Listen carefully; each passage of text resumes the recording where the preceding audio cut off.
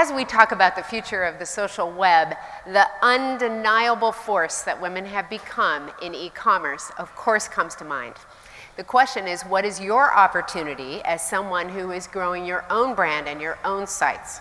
Today, we have two experts here to talk to you, Richelle Parham and Nellie Bowles. Richelle Parham is Chief Marketing Officer of eBay North America. She uses her rich experience in consumer and digital marketing to develop strategies and educate all marketing activities across the 100 million active eBay users on this continent, consumer product marketing, loyalty and relationship, global citizenship, search optimization, everything, she does it. In the past four years, she has particularly focused on initiatives to help eBay deliver a more socially connected user experience. I should also mention that as a marketing veteran who previously worked for Visa and Digitas, she has served on the board of directors for Scripps Network Interactive, she was recently nominated to the Board of Trustees for Drexel University, and she is a strong and personally very passionate advocate for inspiring and empowering the next generation of women leaders, particularly eBay's Women's Initiative for North America and STEM programs like Girls Who Code. Thank you. Nellie Bowles who works at Recode with CEO Kara Swisher. I first began to read when she was a technology reporter at the San Francisco Chronicle. She has recently been recruited to Recode as a hot new recruit covering tech, culture, and trends. And she also is one of the few journalists I know who was a Rhodes finalist and a Fulbright scholar in her past. Enjoy. you got to get that out there, though. Come on now. Yes. No, no skills from Swaziland really apply right here. I it's all right. Um, so let's get right down to it. I love it. Thank um, you. Welcome, guys. I'm very excited to be here. Um, so we're here to talk about social e-commerce and um, sort of about how online influencers can, can monetize on that influence. And the first thing I want to ask you about, kind of in keeping with our theme for the morning, apparently, okay. Um, is about the Kardashian app. Um, yeah. I don't know how many of you know about this, but it's it, one of the most popular apps in the Apple Store. It's, it's set to, to make Kim Kardashian about $100 million or $80 million this year. Um, and I'm just wondering, what does that mean to you as sort of a, a, top marketing exec in tech? What does that mean? And what, what can we learn from that? I have no idea what that means. I, I, I don't understand. I don't, I, uh, just to be honest with you, I don't understand. What I do know is that they are a machine, and they have figured out how to monetize everything they do. They're going to monetize drinking water. I'm telling you. like, so good for them. I haven't, I haven't looked at the app. Congratulations to them. You're not playing to her. I'm not playing it. Um, I'm sure it's a lot of fun and you know, Godspeed on making that cash. That's all I can say, right? So um, I, I wish I had an answer. What I can tell you is, um, is they're using celebrity to drive revenue, and that's been working for them, mm -hmm. and that's all I know. Yeah. Fair enough. I, I start with the Kardashian app just because it's funny, but it also can mean something and, yeah, and yeah. is sort of interesting. And kind of stepping back, what is social e-commerce? Yeah. What are we seeing? What's happening? So, so how I think of it, I, so e-commerce is a $10 trillion industry. Mm. This is about the blurring of the lines of online and offline, yeah. and it's how do you actually drive commerce uh, through interactive channels, be it website, be it mobile, whatever it is. And this is an important time because never in our history have we seen people, kind of grassroots, uh, able to actually drive commerce from their couches at home or from their kitchen tables. And what I've seen is that there are people like you every day who have become real influencers, who are passionate about a particular area, and they have become experts in those areas. And what they have done is created a voice. And that voice is because of their passion, because of uh, their knowledge, and it's something that is has become very, very powerful. And that power is is one that's actually being used everywhere. Yeah. So how I think of it is, you know, there are millions of people who are following people like you, and you help them to make decisions. You help them to decide what they should buy, what they should care about, uh, what are those hot trends, what are, you know, what's the best and fair price for whatever they want to get. And you're really helping people to connect um, to those things that they really need. And for us, as a brand like eBay, we have a bunch of influencers, mm. uh, people just like you who, um, who talk about products and who share their thoughts and insights, and they actually drive traffic to eBay so that people can connect to the things that they need and love. Yeah. And for me, I think that's incredible. So I have all these, you know, marketing channels that are tried and true for us, like paid search or, um, or SEO, and, and what's been incredible to watch is the power of the influencer. Yeah. And influencers for us have been doing lots of things. They create collections, uh, they write articles, um, they do a lot of things that actually create advocacy for our brand um, and an excitement and energy for our brand. And, um, and we've been excited about that. And we've seen um, it grow for us over the last uh, two years. I can imagine. Um, who are they? Who yeah. are these influencers? Sort of where do you find them? Yeah. What makes a good one? Yeah.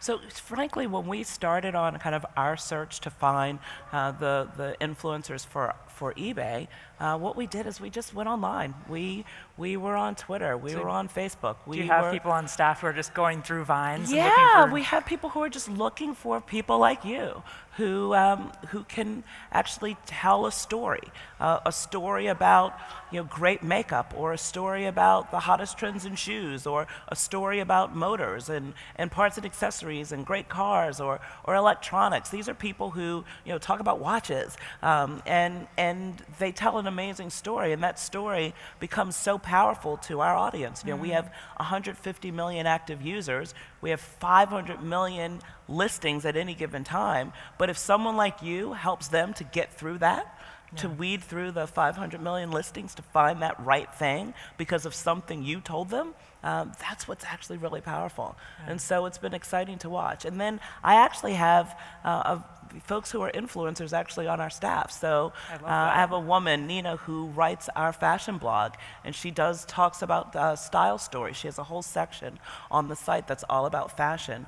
Uh, I have another woman on our team, Annie, who does collections. So she weeds through um, that inventory and finds these beautiful, amazing products that she figures out and pulls together into the, to these incredible collections. And so it's, it's really a story that we're telling from external yeah. influencers as well as internal influencers to actually get people to the things they need and love, which are products that we have on our site. Yeah. It's maybe a sort of a silly question, but how do you actually find those people? Like, do you have people on your staff who are like looking for what, on a, how yeah and, and, we hear about them too. So that we have people on our staff. We we have partnerships with twitter and with pinterest and others and there are people who are on those experiences and so we find them through there. Yeah. um, there's just a lot of ways but it's it's really about people who have become passionate experts in a particular area. Yeah. what makes what makes a really good influencer? What makes what makes someone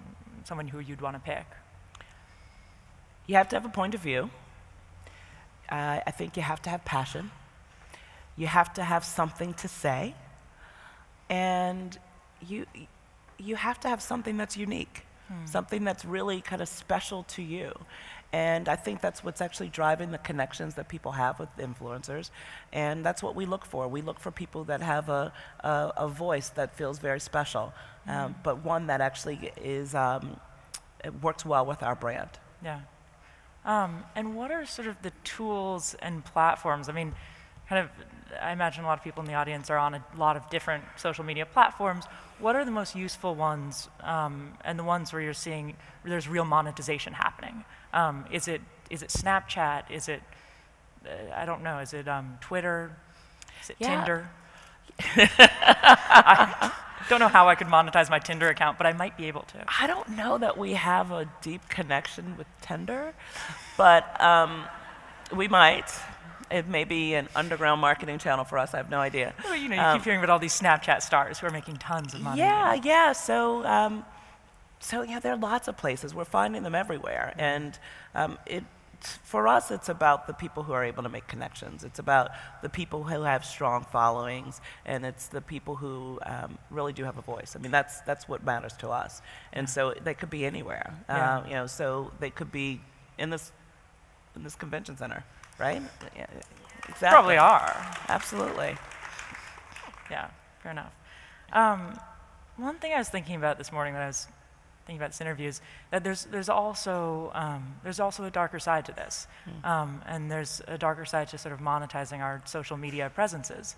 Um, I was reading an article about, um, or by this, this man named Nick Confalone, who was the, um, the Vine dad. And what he did was he had um, sort of a, a, Vine account where he would do little vines with his kid, and it became super, super popular. And then he started um, monetizing it. He got deals with Gap and with Klondike, and um, and then he just wrote this story recently about how it really ruined it for him and kind of ruined the joy of being a Vine star and like just the, the enjoyment yeah. of sharing. Um, can we go too far? Can this sort of make sharing not fun? So I believe that in everything we do, we have to have a connection. It has to map to the things that are important to us, and it has to align with our values and with our soul. And you know, there are days that are really super hard, mm. and there are days where we may not want to get out of bed. But if there's something that you enjoy and something that you love and something that feels good to you, um, then you get up and then you do it. Mm. And so I think that if you are doing something that stops connecting with you mm. and that compromises your values and makes your soul feel empty, then you probably shouldn't do it anymore. Mm. And so in that story, that's what it sounds like. It sounds like, and I did not read that story, so, but it sounds like he it didn't become, it would stop being fun for him. Mm. And he felt like you said he was compromising his child and the relationship with his child, and, and that doesn't feel good. Yeah. And so we have to do things that make us feel good and, um, and bring joy and excitement and energy. And not every day is going to be, you know, barrel of laughs where we do cartwheels, but uh, when you're passionate about something, on those hard days, you're able to get up and actually do it. And so um, don't do things that compromise who you are. Don't do things that don't connect with your values. Don't do things that make you feel empty. Fair. Yeah, I think it's interesting. I think it's really interesting, actually. Um, kind of, if you were to look forward, yeah. Um, at I know this is the 10th anniversary of this, and if we were to look forward five to 10 years, um, where is this going? Are we going to be monetizing all of our social media accounts? Like, I have 4,000 Facebook friends. Yeah. Could I monetize that influence? Could I have, be a product placement for J. Crew or something like that? So I think what's going to happen is um, is personalization is going to get even deeper. Mm. So as the technology gets sharper, um, we are really going to be able to have one-to-one conversations where um, marketers are really going to be able to have a conversation with you. Uh, and, um, and I think that'll be rich. I think that everyday people will become marketers in some mm -hmm. way. So we have an affiliate program called eBay Partner Network. Some of you may be um, in that program. And you know, one of the things that we've been testing our way into is what we're calling micro affiliates, where we start to pay everyday people for um, for the endorsement uh, in some way, you know, That's for really driving traffic. So you talked about, you know, could you be a, could you get paid for mentioning How many micro endorsements do you guys have out right now? Oh, I don't know the number, but it, you know, it's yeah. but that's you can imagine that that could be an interesting world where there are everyday people who are able to monetize driving traffic to some of these incredible brands. Uh, and so, you know, I, I, think that we'll start to see more of that. Um, and, you know, what we see is everyday people have become heroes and stars. Yeah. Uh, and as more heroes and stars get created, um, and they have an attachment and an affinity to something, um, that attachment and affinity could actually make them money. And, yeah. um, and so that's, that's interesting. Yeah. Uh, and, it's, um, and I think that's part of the future. I think the other thing that we're going to continue to see is we're going to continue to see the rise of, of, um, of voices and people actually sharing their points of view. Um, I think that we're going to continue to see brands listening and listening in new ways. I think that a lot of the connections that we have with social media is going to be about listening even harder. You know, so we do social customer service, mm. and we mm. do um, you know a lot of kind of social listening where we get in the the dialogue and we create messages that feel very relevant in those situations. I can imagine that that will become smarter. Yeah. It'll feel less intrusive, and um, how will it become smarter? Through data. Yeah. Uh, as we test and learn. You know, so a lot of um, companies like eBay, we test our way into a bunch of things and we see what's working and not working and we yeah. shift if, if it doesn't. Uh, and I think data will help us to even get smarter about how we get in those conversations. Hmm. Interesting. Um, what trends have you seen? So this seems like it's been just in the last sort of year or two. Um, when did this start? Maybe tell me about how, when you guys first started seeing um, Instagram celebrities rise up, and, and then how you um, sort of spun around and figured out how to make money off of that or turn them into. Yeah, so we actually built our influencer strategy uh, about two and a half years ago. Okay. And we launched it really about two years ago, and um, we've really grown it over mm-hmm. time. Uh, what we have is we have influencers across a number of categories uh, fashion, uh, electronics, parts and accessories and motors, and home and garden. Mm. Uh, and that's mainly because those are the categories that are yeah, uh, the top for us. And then we obviously have our collectibles um, business, and we have a lot of influencers. Um, some of the influencers are people that are kind of well known in social, social channels, but some of them have become our sellers or, or were sellers, and their voices actually have been able to matter um, in different ways. And you know, for instance, we have a, a guy on our platform who sells beautiful antique men's watches. He's an expert in this. He's been doing this for 25 years, uh, and he is he has a voice. He has something to say, uh, and he isn't, you know, can be. He's an influencer on our channel, and so yeah. you can imagine that, you know, we have all these experts, these sellers on the platform, in addition to people that just have a point of view on um, on some of these key categories. Yeah. Um, what advice would you give to this audience? Because I know a lot of people here have sort of enormous social media presences yeah. and, and influence. What advice would you give on how to monetize that, and sort of what are the tools that people should be looking at, and what, what should we be doing looking forward? I, I, you know, I, I said it before. a hard one. No, I, I think I said it before, though. I think, I think you have to really be an expert. Yeah. I think you have to um, have something that you're really passionate about and create a story yeah. uh, and a point of view and have a, uh, a real message. Yeah. And I think that you know those things get listened to.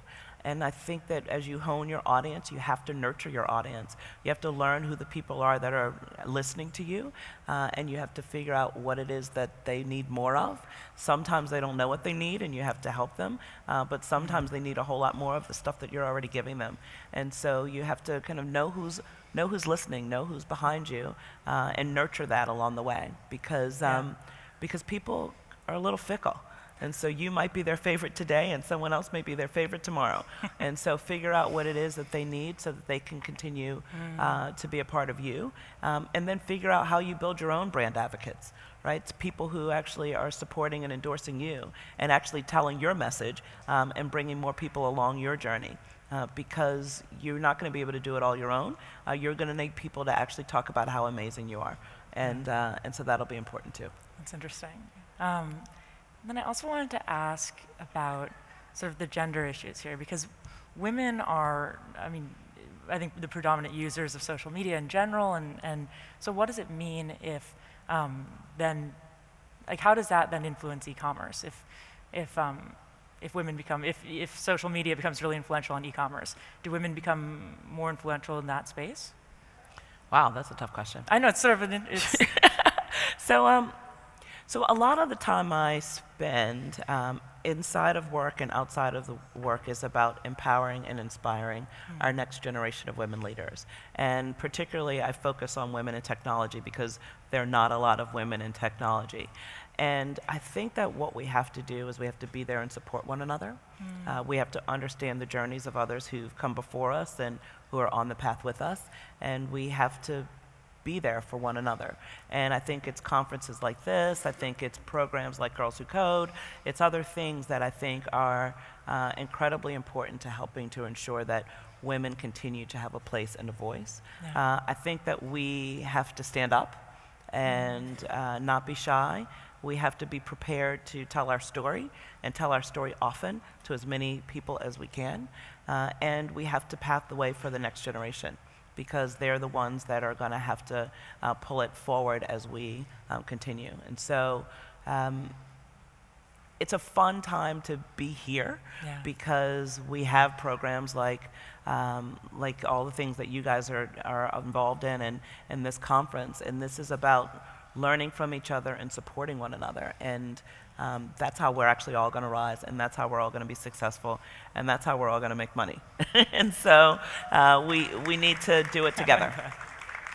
that's perfect. Um, we have one minute. Do we want to ask questions or anything? Or I want to ask you a question. You want to ask me a question? Is that allowed? Is it allowed? Can I ask her a question? So, as a female journalist who's mm-hmm. focused on kind of this area in technology, mm-hmm. what would you say to women like you who are telling stories every day? Uh, what is it about what you do um, that can help other women? Mm. Oh, that's interesting. Um, I think women just have to be loud. Um, I think. I think, and, and not shy. Yeah. Um, and, and, and I don't know, bossy, assertive, all of that stuff. I think that that's really important. And so in, in my stories, I, I cover women's issues um, quite a bit, and maybe not quite as intensely as I should. Um, but I do try to keep it in mind in my writing um, and in, my, in the stories I tell, certainly. It's actually been really interesting to be a tech reporter and notice um, myself, I cover a lot of parties and events and notice myself in situations where I'm the only woman in a room or mm -hmm. one of mm-hmm. two women in a room. And then how do you tell a story that's nuanced about that story um, while also taking into account that, you know, the background of it is it's all men. Yeah. Um, it's hard. And, and I think one of the things you have to do is you have to figure out what you will do to get your voice heard. So I have women who I mentor all the time who say to me, you know, I'm in this room a, and there's all men at the table, and I have something to say, and no one is listening. Uh, and and you have to figure out what it'll take to get your voice heard. Mm. And you have to play around with it and do all kinds of tricks uh, to figure that out. And, um, and so, what I'd say to you is get your voice heard, have a point of view, and say it. Yeah. Thank you. Thanks so much.